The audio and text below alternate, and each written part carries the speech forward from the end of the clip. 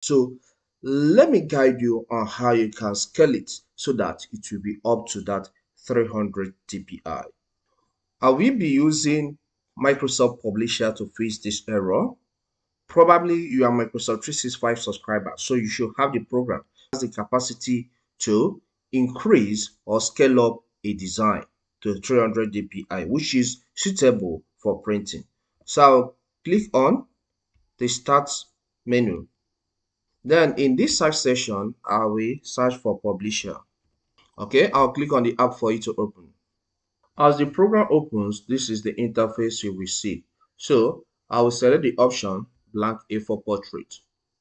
The standard measuring unit in Publisher is cm. Alright, so I want to change the measuring unit to inches. It's easier for me to work with that. So I'll click on File, click on Options, then I'll click on Advanced.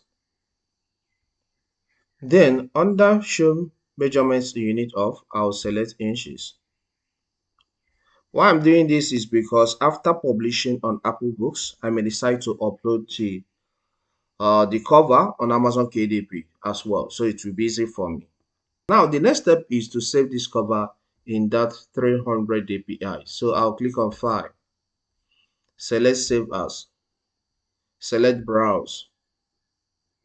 Okay, I can give it a name. Okay, under okay let me just give you the name of my choice. Let's say correct cover. All right? Anything. All right after that under save as i will change these publisher files to jpeg. Okay you can see jpeg. Then there is an important step we need to take here you can see resolution standard printing 150 that is 150 dpi is selected by default. So but we need to change it to 300 so i'll click on change. Then you can see these options displayed this the last one says high quality printing or commercial press. So i will select this option and click ok. Then i'll click on save once this is done the design is now saved into my pc with the 300 dpi quality needed I hope you find this guide helpful. Please, if you do, please hit the like button. Also subscribe to my channel and leave a comment. See you next time.